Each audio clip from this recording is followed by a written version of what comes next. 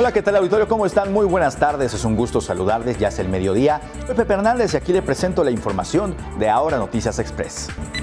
Con el propósito de incentivar a los estudiantes a continuar sus estudios en instituciones internacionales en alguna área del conocimiento, la Secretaría de Educación Pública del Estado informó que a partir de este mes, los interesados podrán registrarse para obtener la beca gobernador.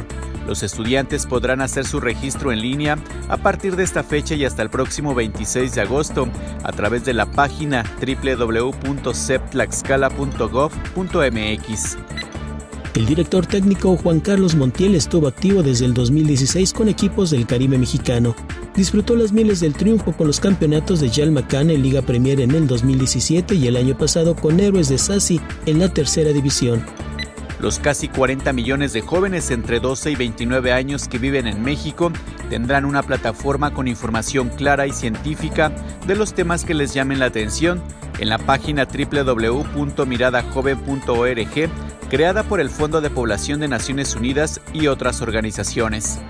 Perú prohibió las reuniones familiares y restableció el toque de queda los domingos debido a un rebrote del coronavirus en el país, con la tercera cifra más alta de contagios en América Latina, anunció el presidente Martín Vizcarra.